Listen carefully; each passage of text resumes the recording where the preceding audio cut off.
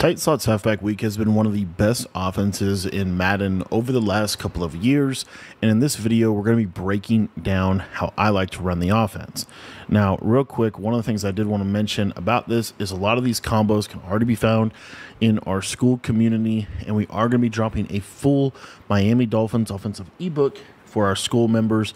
The link's going to be in the description to sign up for the Skool site. It's only $10 to become a member, and it gets you access to all of my offensive and def- defensive ebooks for both Madden and for college football, as well as all of the updates to those ebooks and any new stuff that we release while uh, your membership is active. All right, so we're going to be taking a look here at this. I am going to sub in, um, so remember what this guy's name is. Well, should just Gibson. We'll go with Gibson. That's fine. Um, the cool part about this formation, you don't really need to set any audibles. Um, the only thing I would do is put the read option in here. And then if you wanted to audible around a little bit, you might want to put post wheel drag here. But that's the play that I like to come out in every single play. So the setups for this play and the alignment, for alignment purposes, generally I like to run this formation with my running back uh, to the short side of the field. However, in this year's game, it really is not as big of a deal. Um, there's a lot of versatility in terms of how you can play offense this year. So if you want to just literally always run with your running back to the left, that's fine as well because running backs uh, to the left are the best form of pass protection in this year's game.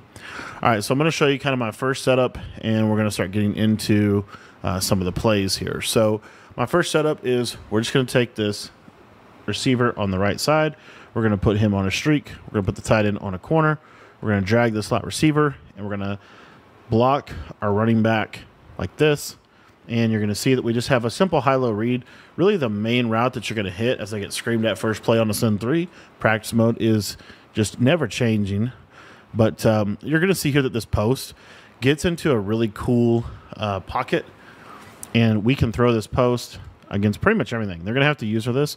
See how the yellows will kind of get sucked down, and this post kind of gets into a really nice spot in the middle of the field. One of the things that I think tight does, specifically this tight slots halfback weak, is it can attack the entirety of the field. It can attack the right sideline, it can attack the left sideline, it can attack the middle, it can attack uh, the flats really well. So there's just a lot here. If they don't play hard flats, you can just dump it down to your drag route. And then if they do play hard flats, what's really cool about this specific play is your tight end corner is short. And so it's going to get a nice separation against cover four. And you can basically just throw this with a pass lead uh, down and outside, and you can hit that against that coverage. Now, my next setup is going to be a variation of this. And the reason we're going to run this version of the play is so that we can use this corner, uh, this stemmed corner all the way down. I like this stem corner. I feel like it pulls zones really well. And if your opponent is playing hard flats, whether they're playing cover four, cover three, whatever, this stem corner normally is going to do a really good job of just kind of getting into a soft spot against every single zone coverage. See, even though it's cover four, I can still throw this at that cover four coverage it's going to start to force them to have to, you know, base align and things of that nature. Now, the real reason why I love this play, or another reason why I love this play, and really why I think tight slots is so good every single year, is because you can't really play man coverage against this, as we good good old Kansas City. Um, you can't really play man coverage against this offense, right? Because it is a compressed set, and compressed sets historically are going to beat man coverage really, really well. And I am going to go over kind of a little hidden tip against man coverage in this that I don't talk about a ton. And because I didn't come up with this, I think that Antcap said he was first one that come up with this um, over at Huddle GG. Again, if you guys didn't know, like I recommend literally watching as much Madden as you can. Watch as many creators as you can, learn from as many people as you can, um, because Madden is a knowledge based game. And the more you know, typically the better you're going to be. So uh, what this tip is is basically just curl route, and then you stem him all the way up. And sometimes it doesn't work if he's on the line of scrimmage, but sometimes it does. And you'll see against press man, you see how he becomes unbumpable, and that really helps us because he'll clear out a lot better for he'll clear out a lot better for those routes. And then let's say like you're playing like a cover zero uh, coverage, then what you can have here is basically this this uh, stemmed curl. A lot of times we'll just beat that press man for a touchdown over the top against pretty much anybody. So the stem curl route is another thing that you can kind of have within your arsenal. This is also also not unique to tight, but I like to use this for clear outs because you have a streak as a clear out, but now this curl is unbumpable against man. And so it really kind of just uh, adds another layer to the play. Okay. So that's the first setup that I like at a post wheel drag. Uh, the second setup that we're going to be going over is um, essentially how we can attack the left side of the field.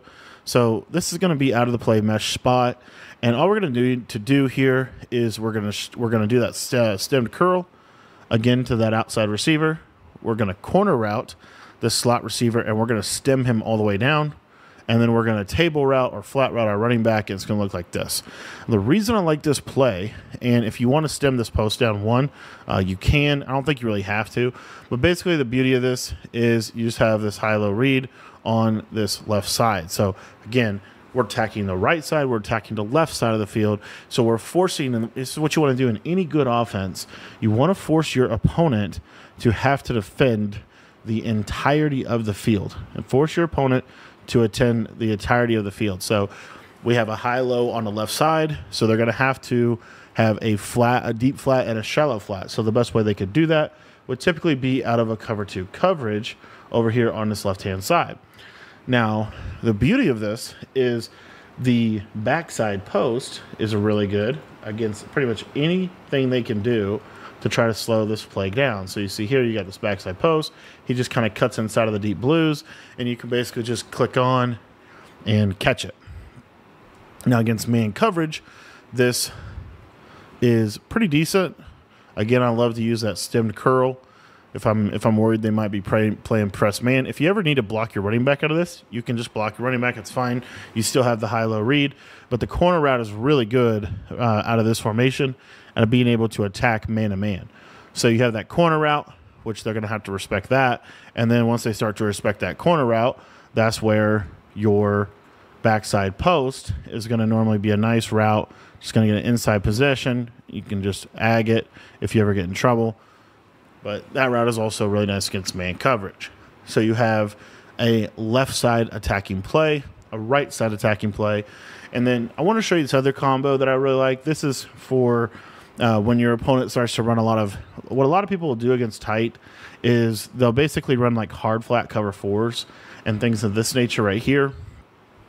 Once they start to do this, this is where I love to basically spam this setup right here and you're going to hit this corner route pretty much every single time. This corner route's just going to be open and you're going to hit it. And so as you kind of play through this, what they're ultimately going to have to do is they're going to have to basically play cover two on the left and cover four on the right. Now they may, you know, back this guy off to kind of get him to play corners better, but this is basically what we have. So we want to have a play or a concept that is that that is able to attack the right side of the field. And so that play that I like to use is post wheel drag. We kind of go back over this real quick, but it's this corner um, streak combo. And now you see that this outside quarter is not going to guard it. So you could throw that as well. So now they're going to have to double flat both sides of the field. And so when you ever get someone to have to do this, this is where the game starts to really become easy because the whole deep area, deep section uh, uh, is wide open. So this is where what I like to do is go to a play like post wheel drag, and we can just streak the running back. We're going to corner route this outside guy, stem him all the way down like this, and then really can do really whatever with the tight end. But what you're going to see is this post will split the cover two this year really well when you have that stemmed corner and you can have a nice big hitter against that, which they have to kind of carry with their user. So their user is going to be responsible for defending this this um, deep middle of the field, and so it really leaves them with only one underneath yellow zone, and this is where we can really get into some cool stuff out of this post wheel drag setup because we have this running back streak. And again, I said you can kind of do whatever with your tight end. So if you want to put your tight end on a you know, a little simple out route, perfectly fine. But if you wait on this, this running back streak, we'll just get into kind of a cool part of the field. Another thing that I wanted to cover against cover two that you might not know is going to be this wheel route late against a cover two. So you'll see here, if you wait on this wheel, he'll just basically kind of clear. If he doesn't get matched, he'll clear over the top of that cover too. I'll show you. This time we'll leave this drag. And again, I'm just a basic cover two. You see, watch this. For some reason, he's still matching him. We'll just ag it, but but in general, if, if it doesn't match, I don't know if I have soft squats up there or what. Um, if it doesn't match like that, which is surprising that it did, this uh, this wheel, the half will never play it because he has to respect the streak. So that's another one of my favorite plays out of tight slots. Now I'm going to going over one of my favorite man beating concepts out of this formation if you have running back apprentice. So this is out of mesh spot, and then we're calling this play for the drags and the post. So what we're going to do here is we're going to stem this curl all the way up. We're going to Texas route the running back, and we're going to block our tight end. And the reason this setup is really good is because it's just going to be able to really attack the man coverage because you have really several routes that can be open. One of them being the stemmed curl, of course, but really the main reads that you have against man coverage is you're going to have this slot drag. You can actually just literally recreate this play too. But you're going to have this slot drag. You're going to have this Texas route late. I wish I could have a second to pass. This uh, these practice mode sheds are absolutely wild. And for the guys in the comments, real quick, I don't do this a lot, but this totally got to me the other day. Somebody said in the comments that the sheds in mode are realistic. Okay, so we'll just show you that we can dot this up. You'll see here, the drag's wide open. okay, I'm just trying to show a certain route, which is why I prefer to like spy people so you can actually see the entirety of the play process all the way through. So, anyways, uh, a uh, little small tangent, but what I like about this play is the fact that this Texas route will really get into a nice part of the field. So you'll see here, even though there's a three rec, the three rec will eventually let him go, and the Texas route is like a, it's basically like a running back slant route in terms of how it's going to actually kind of attack the defense. So that's why that's one of my favorite routes. And then the other thing I want to show you is this actual mesh spot. Uh, this actual mesh mesh spot post. You see here. And he'll just normally run himself open in the man coverage. And he'll be able to attack attack it like that. So those are some of my favorite plays in tight slots. Um, the other one that we didn't cover yet is this four verticals. I want to show you something about this against man. So in man coverage this year, um, it's kind of like man 23. The man coverage defenders will take a step back at the snap of the ball. So what you can do is you can just quick throw these flats against man coverage if it's not shaded down. Now, if it is shaded down, so let's say like a cover two man, for example, then what's going to happen is when these wheel routes cut upfield, they're just going to destroy man coverage. So wheel routes in this game, specifically from like the wide receiver spot, specifically these flat root flat wheels out of four verticals are really good for attacking man. And you just want to quick throw them out there and basically it's going to force them to eventually shade underneath. And then when they shade underneath, you're just going to wait on this thing to cut up field and be able to take it. But I love quick throwing these these uh, flats. Flats in general in this game are really overpowered. You know, so a combo that you could actually run with four verticals that I would recommend would be a, uh, streaky run, running back. We're going to uh, put this right side receiver on a post, and then we're going to put a hitch on this right. So you see this what it looks like. And against man coverage, a lot of times I didn't didn't actually throw my open read there. But a lot of times, and you can do it out of post. You would want to do it at four verticals because you get better wheel routes. But if you watch this post, boom, easy reads for man. And then the other thing is if they're your first read is really always this wheel on the left side. He backs up like that. You can just throw this out here. And if you break that tackle, it's going to be a pretty good gain for you. And then another thing that I like to do on this uh, post wheel drag setup for like cover two and stuff, you could run a combo almost like this. But basically, the idea here is if you watch this tight end up the seam, he kind of gets and he'll literally just split the cover two. So if we were to run a setup, and I'll show you. So let's say we run like a setup like this. You know, and then the running back can literally be on whatever. What I want to show you is this tight end streak. You'll see he is going to get matched by a mid read. But if you throw this like literally just straight up, I feel like the deep halves don't really play it. And I would probably actually go ahead and do something more like like this, for example. And we have that high-low read on the right.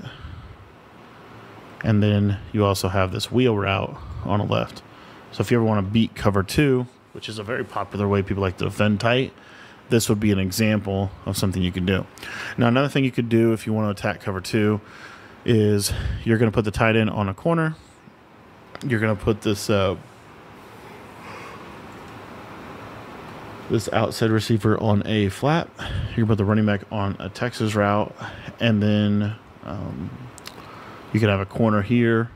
But basically, the idea is we want to stem this post up to about 15 yards. And what you'll see is he again will kind of split that cover two. Now the mid read will get there, but you can hit this. And the other thing I wanted to show you is this cover three beater. So this is at a mesh spot. And basically all we're going to do is this right here. And what's going to happen is this wheel is going to pull the, um, is going to pull the third to him. And then this post will typically run, you got kind of hung up there. If you don't, if you don't need to, you don't have to run this. Let me show you something else here. So if we were in this play mesh spot, for example, we have this post. We'll just corner route this guy, and then we'll just block this running back. You can run it literally like this, and this will just shred cover three. As you see, the corner route pulls the outside third, and this guy comes underneath for a really big play. So you're able to manipulate cover three uh, as well and then uh, post wheel drag. You just want this post like kind of super deep. And we'll see if we can actually get this to work. So again, that super deep post, super deep post. He's still kind of cutting a little sharp for my liking. Guess we can't beat cover two with with that post in particular, but there's so many other things in this formation um, that could beat cover two again, one of the things is if you ever want to flip it and run your running back to the to the wide side, now we can do this combo. And I would use the stem curl route. And you'll see why here in a minute. You see stem curl route. See how the stem curl route is going to be a straight streak. And then we can run these corners. And what you'll see here is that slot. A lot of times he'll just basically nuke cover two. Deep half actually got over there a little bit better. Kind of having a hard time beating cover two, I guess, but uh, see if we can actually get it here. Yeah, just see how the tight end just kind of gets in this position. I mean, that's a decent window. And then all you're going to do is basically just pass lead it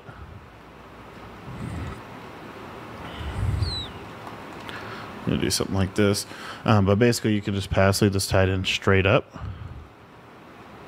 And Rogers is kind of selling the throw. But honestly, you know what? If you want to beat cover two, since I'm kind of annoyed that we can't beat it right here, just run a corner out to the right. and there you go. There's your cover two beater. so if you ever need to beat cover two, you can just do that as well. But obviously, if you want to get the, the touchdown for some reason, it's being kind of kind of uh, finicky. But then also the other thing that I was going to say about beating cover two would be to use this post wheel drag play and you can just I don't know why my post is gonna run dumb, but basically this wheel as it gets randomly matched. Good old man 25. Um, this wheel normally will get open. Let's see if we can actually just get it open here with a flat and that cloud. There we go. The cloud stays. You know, so if you wanted to do something like that, you could get, you know, if you know they're running cover two, you could do something like post wheel drag, will flat the running back, right? And then on this back side, you might run like a little stem corner as a clear out with a streak, something like this. Um, and then if they are running cover two, hit this. And then if they're not, then you can throw your post. But but yeah, that's post drag. Um, other setup I didn't didn't cover yet is just a slant post. I love this play right here. If I'm ever playing man coverage, this is one of my favorite ways to beat it. So it's basically just post drag, slant the slot receiver, table route running back, flat the tight end. And the reason for this is just it's just a simple slant post combo, but this slant is so like it just it's just always open. You can just always throw that slant route. And then another play that we didn't cover yet out of mesh spot, we have this wheel route. There's a lot of good things that you can do with the wheel route this year, but basically just a flat, a slant, you know, something like this. Really good combo. Has a little bit of a man swap in it. And you see just how open that slant route is against man coverage. If they're if they're running man coverage against tight, chances are you probably won the game. But these are some of my favorite plays out of tight slots and you have the capability within this offense to attack the entirety of the field. If you guys want to check out my entire Miami Dolphins offensive ebook, make sure to get into our Skool community. Um, it's going to be in there. If it's not already in there, it's going to be in there in the next couple of days. So make sure that you are a member of that. And again, the link is going to be in the description below.